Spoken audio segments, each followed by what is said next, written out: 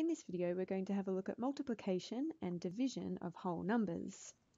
The any order property for multiplication states that a list of numbers can be multiplied together in any order to give the product of the numbers. The any order property summarises the commutative and associative laws for multiplication. For example, 8 times 5 times 7 times 2 be more convenient to multiply 5 times 2 first. So we would rewrite 8 times 7 times 10. 8 times 7 is 56 times 10 is 560. Multiplication is distributive over addition and subtraction. 21 times 36 could be rewritten as 20 plus 1 times 36. And using the distributive law, 20 times 36 plus 1 times 36. We simply get 720 plus 36, which is 756 using the distributive law. 28 times 36 could be rewritten as 30 take away 2 for 28 times 36. This time it's 30 times 36 minus 2 times 36, giving 1080 take away 72, being 1008. Larger numbers are best multiplied using the multiplication algorithm. 128 times 36, the first line of working will be 128 times 7. 7 times 8 is 56. Carry the 5 into the tens place value.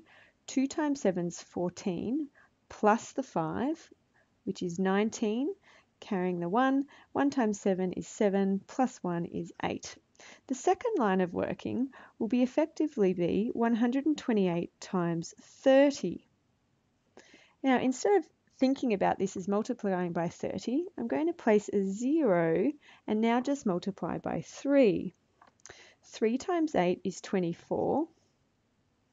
Carry the 2. 2 times 3 is 6 plus 2 already which is 8, and 1 times 3 is 3. Adding those two numbers together, we get 6, 7, 4, 4,736. Division. If we had 32 cakes and they were shared among five people, how many cakes would each get? The answer would be 6 with remainder 2 or 2 left over. Each person would get 6 or 6 and 2 fifths each. The 5 is called the divisor. The 6 is the quotient and we have the remainder as 2.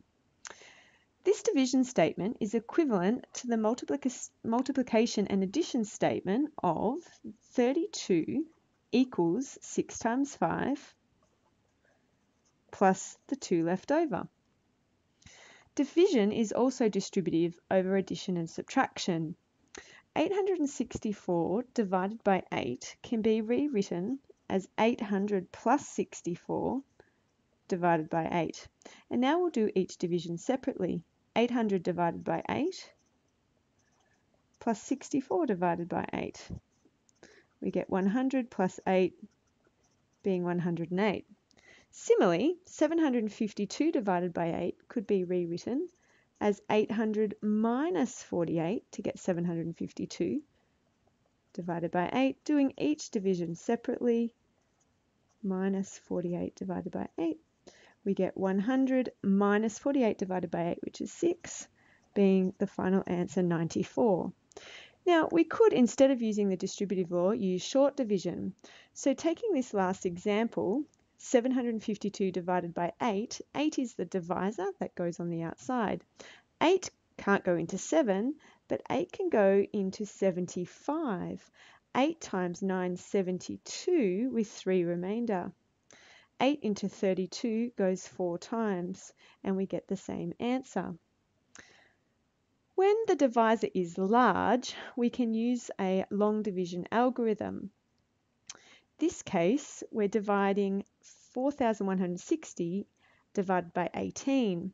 Now 18 will go into 41 twice, which will be 36. 2 times 18 is 36. And then we will subtract 41, take away 36, which is 5, and bring down the next place value, which is 6.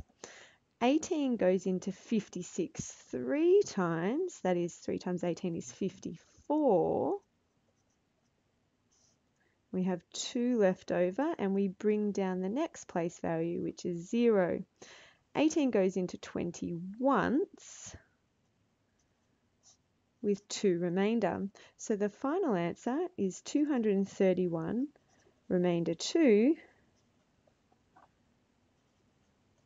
or 231 and the 2 still needs to be divided by 18 so we can say 231 and 2 eighteenths. That's the long division algorithm.